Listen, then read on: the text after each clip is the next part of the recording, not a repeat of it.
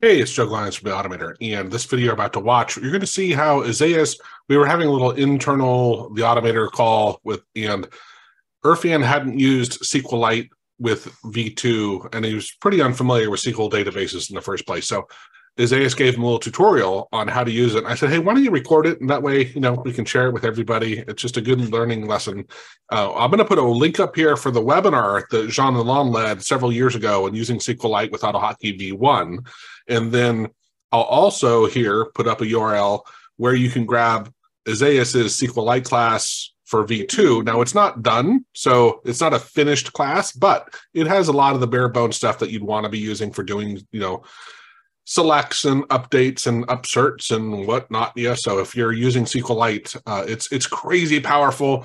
Real quickly, one of the big lessons learned: um, if you're doing very small stuff in ini file, storing data in ini file is great. XML is also great for very small stuff under, let's say, um, a thousand rows of data, you know, of records. Once you get beyond that, though, XML starts slowing down, and SQL is crazy, crazy fast. Now, the other big thing to be aware of is if you're creating a tool that's going to be used by a lot of people, uh, you want to use MySQL instead of SQLite because SQLite doesn't have a built-in queue management stuff. So you need like to use MySQL, which puts things into like a cloud environment, which has a queue. So it's, it's a much bigger project. Um, that's something we also do. So if that's something you're looking for, we can implement that for you but it's uh, it's a bit a bit more complex to do.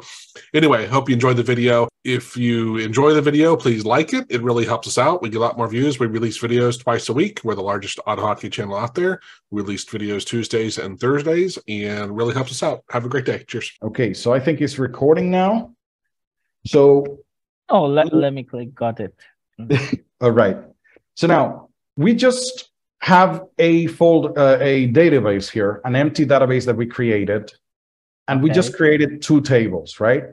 And the tables just tell you what you want as the columns, all right? Okay. And you can add data for each row that has those two columns. So for this one, uh, we created a settings table, which is just going to contain all the information or settings or preferences of my program, right?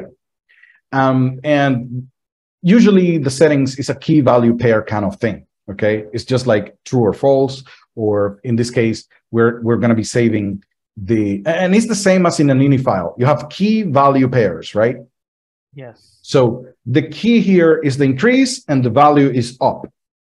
The bad thing about ini files is that you cannot have more information because you just have key values. If you want more information in the value, you have to kind of like split the things with a pipe or something, do weird stuff. Yes. In a table, you don't have that. You just create more columns of what you want to keep track of. But in this case, we're going to start with key value pairs for these two. And, and in the settings table, we have two columns, key and value, and I just added two rows, increase and decrease, and the value for each of them, which looks very similar to the ini file, right?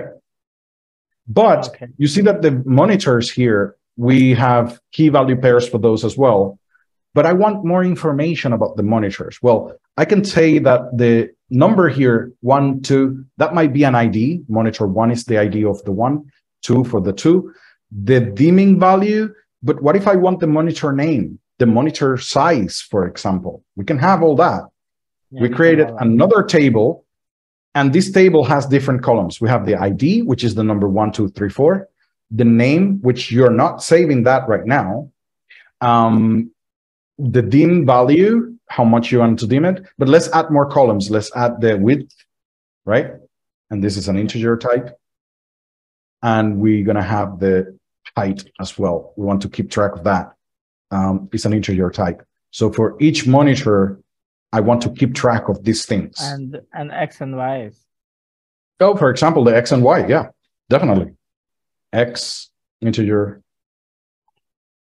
and y integer, right? Now these two guys, let's move them down, right? And now when I save it, you will notice that if I go to the data, so one thing is the structure of the table, which means which columns you want and what they need to have in there. And for example, things like the ID, I usually make them primaries and unique and not null because I need to have at least the ID, right?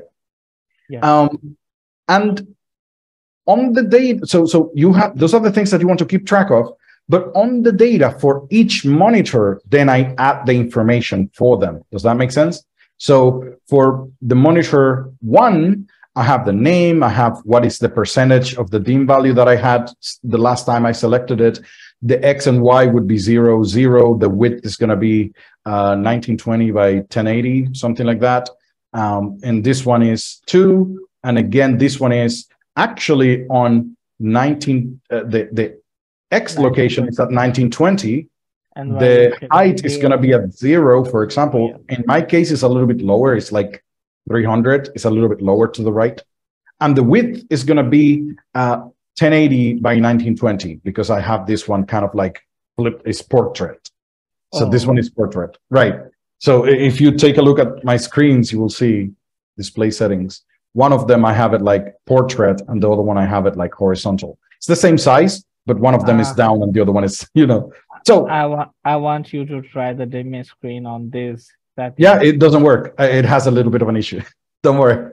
Uh, it, it should work, I think. It works, but it it covers a little bit. Ah, well, with the new modification, I don't know. I haven't tried that one, but we will see. But in any Yeah. case, this is cool because now I can keep track of more information about a monitor that an ini file doesn't give me. Right. So now, But but there's a question. We are sharing the script, and uh, if I add the database, I can read your monitors, and uh, because we are sharing. that's the- reason, that's exactly the reason why you don't share the ini files. yes. because on your computer it's going to be different than mine.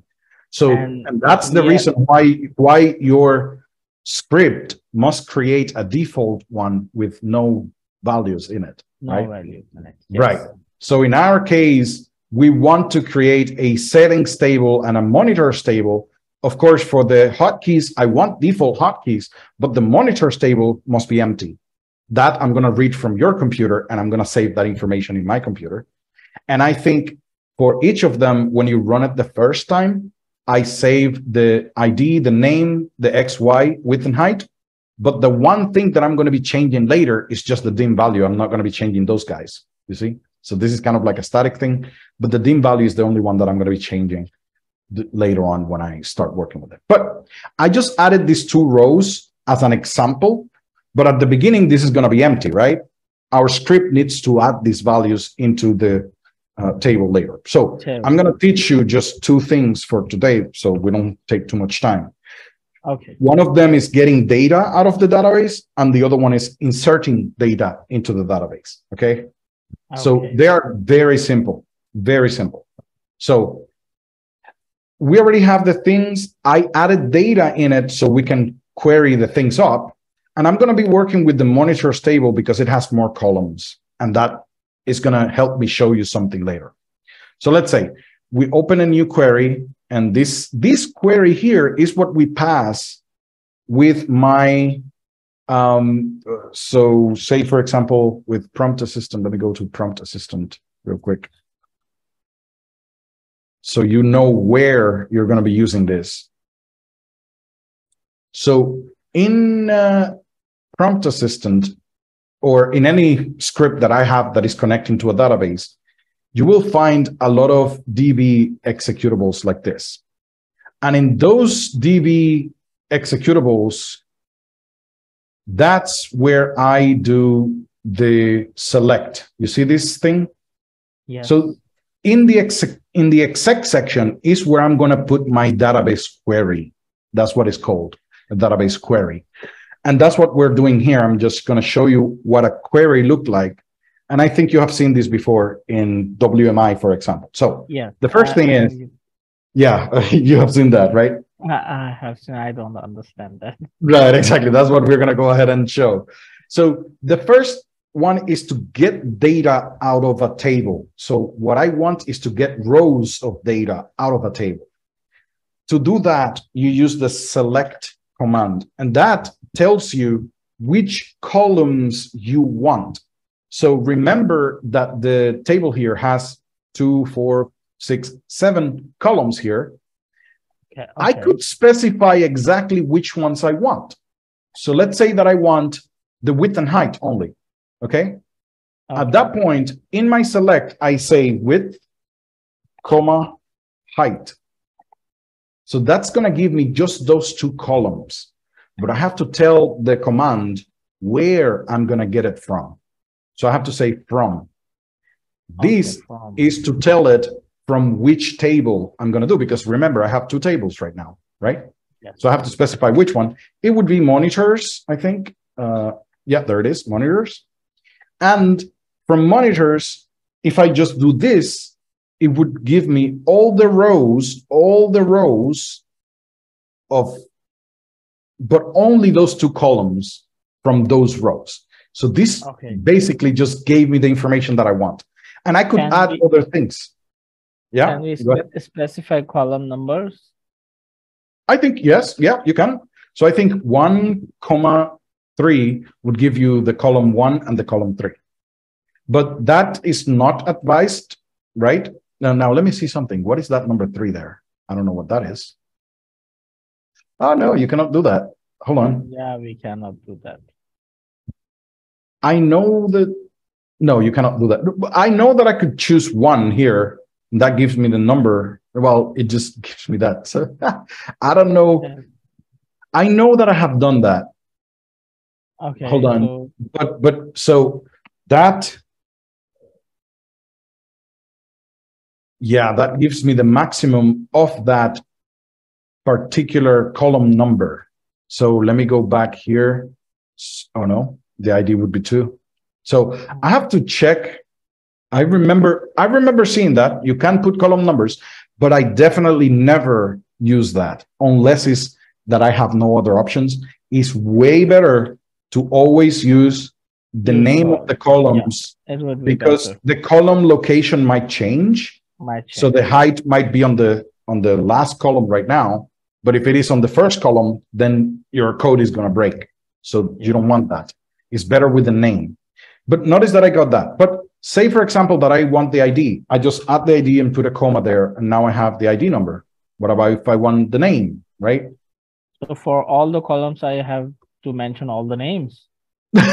Not really, but what you have to do, and that's the one that probably you have seen a lot, is an asterisk there, like a star. Oh, That get all the columns at once. oh, um, that's right. Hold on, let me see something. Oh, what? There it goes. So Yes. it gives you all the columns all at once and all the rows because we're not filtering. That's the other thing. now we can go ahead and that's really- filter. That's really easy. It is. It is so Yeah, easy. It's I- just like, what do you want from this table? And that's it. I I used it from the uh, from other user using it and copy paste their code. But copy paste, right? Exactly. Yeah, I didn't know the concept, but now I get it. Right. How- And it's so how- simple. How about how about I select all the columns from the monitors and I want to use the filter. Right. So now we're going to filter, for example, I just want Okay. all the monitors that are of width 1920. Now, in this table, like there's not much data to filter on, but it doesn't matter. I can do this. Let's say I just want the information from the first monitor. Well, you have a command called or a statement called where. The Yeah. where it tells you what condition is true. And the condition that I want right now, you put the name of the column that you want to match, the equal sign, and what you want to match from it. Now, this is where you have to make be be careful. If the column is a uh, is of type string, remember that all of these are integers, right? Yeah. But if the column is of type string, you have to use quotation marks. Like for example, if the column is name equals, you cannot put AOC here to That any set. So that's not going to work. That's going to give you an that, error. that- that makes sense. Right. Now, what you have to do is put the quotation marks. And now you have to be careful because this is case sensitive, I think. Yes, sensitive. Yes. I think you can do that. Yeah, it is case sensitive. Yeah. I think there are ways to Use Uh, case insensitive. Yes, I think you can. I, I I have I have seen that uh, somewhere. Right. But in general, I definitely, as But- you're creating your own program, just use the case that you create. That's Yes. it. Uh, It's, But- it's really it's really easy. I think you can use the like command. How- Here, how- how- here's the equal sign. But if you use the like command, so where name like something, I think that, uh, let me see, hold on. Yeah. Where name, oh, okay. I thought that it would do. I will check on the like. Oh, there it is. Here it is. Like. Now, It works. if I do this, AOC does that. Yeah, you see, when you use the like, instead of using the equals, you use the like statement, it is case insensitive. Uh, uh, I have a question. Uh, Yeah. We can uh, store huge data in databases, Yeah. and uh, this filtering, how much time it would take to filter the thousands of lines? Nothing, like not at all. Like, let, let me let me show you. I, I think we have a database here. Let me add a database. You're gonna like this one. Um, this one was I think we have it on uh, AJ's. There is this big. Hold on. Let me do something real quick. I can open up a.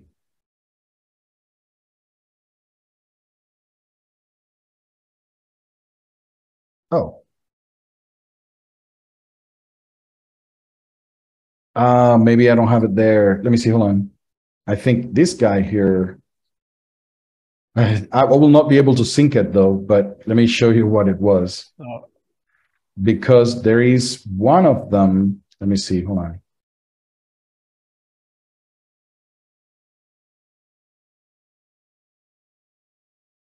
Yeah, there's a seven gigabyte database file that we have. Oh, I got That uh, that huge database That's um, that's really huge database. it, it, it has millions of rows but let me get a different database let me see if i have um let me let me share let me do this in uh here oh i have one that we can probably use i think i know i know what what to use let me we have another one that i think i do have on my end um By the way, uh, my Here. battery is twelve percent. Oh, okay. Don't worry. We're gonna finish on that one. But this one is this one is another database that has a lot of data in it. Uh, again, let me show you this. This one has 87,000 rows and this one has 12,000. So, and, and birds, this one should be the biggest one. No, 32,000 rows. So for this one, if I do a query on that, so let's just go ahead and create a query here. Um, create a query, select, let me see what I want. Uh, BI, so let's get the count. So let's get the count. So I say select, uh, let me change this to races. Count, I think I put it CNT from uh, birds Bird. Yes. where BID 156, let me just copy this, uh, where BID equals that. How There about less than and greater than? Look at that. It just blinked. In less than 0.001 second, it returned the data, even though it has 87,000 rows. So in less than Oh, less than a second. So it, it that's the reason why we use databases. One of the reasons, right? Um, that they are really optimized. And you can make any query and and and I can get anything from this like just just do that and I get everything in in less than a second. Look that was just 3 seconds. Uh, 0.003 seconds. So it's amazingly fast. You don't have to worry. It doesn't matter how big the database is. Does that make sense? Now let's go back to what I was saying. Yes. um, let me just go back here. Now you know that you can select the tables uh, so the the columns here from the table and here is your filtering okay so in the settings table i say select everything from monitors where id equals one and that will give me the data for the first monitor so that's what i want to do let me see where where is it oh because ah you have to be careful with that if you have something selected You, you have to select the table. no, I just have to, no, I just have to um, click. If you have something selected, it's just going to try to run whatever you have selected. So I just deselect everything. And look at that. It just gives me the whole information about that one monitor. But sometimes I just want the dim value. That's what, what we're going to be working with most of the time. So I'm just going to get the dim value of that. You see? That's so easy, isn't it? You can create and statements or or statements as you would do in any other language and you can put um, parentheses on those so or id equals two for example you see and that gives me both values It's going. all right It's it's cool. It's very easy. it's Now very easy. it. now the second one that i wanted to teach you was the insert And, uh, my your battery is done yeah, it's it's uh ten percent. All right. Okay. Um, well, then let's keep it there. I, I just wanted to show you how simple it is to do this stuff. Like later on, we're going to see the insert command. And that what it does is that adds a new row. And it is it is easy to just say insert. Oh, if you don't know how to do the things, you can right click on one of the tables and you can generate an insert query and it goes ahead and creates a little example of what you can do. Um, Okay, so all of we that- can mod yeah, can modify, modify for modification we use we need to use select. no, Okay. for modification is different, but don't worry. In any case, all of this can be in one line like this because all the commands can- finish with the semicolon, but okay. You can have it in different um in different lines like this. And it it works just fine because it knows what the Nice. semicolon is right? So it's just insert into the name of the name the- of the table. table which columns you want to affect. You don't have to put them all. You can just put the id if you want or just put but remember there are some columns that are required so in my case i made the money the id when you look at it the id cannot be empty so if you try to fill out everything else and don't give me an id it's going to actually uh, give you an error but um, if it doesn't have that constraint, you can just fill the whatever column you want. I just want to select the dim value only, for example. So in any case, it's just divided in two sections, which columns you want to modify, then the word values, and then you put the values that you want to modify. That's it. And later on, and the data that you want to put there. So in here, it's going to be, yeah, it's going to be the number three. The name is going to be AOC 10.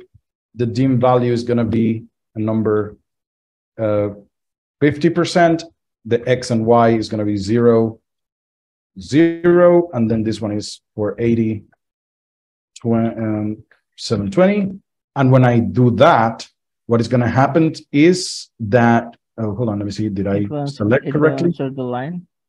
Yeah. So when we go here, let me see if it inserted it. There it is. Yeah. That's it Yes. Yeah. That's for inserting one. Um, And- we do And for- have and for modification. for modification, you have update and delete. Those are the four uh, uh, main things that you're going to be doing. The update command is a little bit different, and the delete one is also a little bit tricky, but we're going to see those later. Just select and insert. if you want later on, you take a time, download SQLite Studio, create a new database, just create one and start playing with it and just try Yeah, to figure it I'm out. going to experiment with it. Yeah. Right, because it's really simple. After you get that, it's it's so cool to create a program with this because you can do the queries in one line that give you exactly the data that you need in the format that you need. That's the other thing. So yeah, it's gonna be cool. Um, so I'm gonna stop it at there. Um, I think we did a lot today. Yeah, it's gonna be cool. I hope Yes. you you practice a little bit with that because most of the times we're gonna be using databases. I enjoy learning with you. Thank you so much. You're welcome. There you go. Okay, man. So we're gonna be talking later.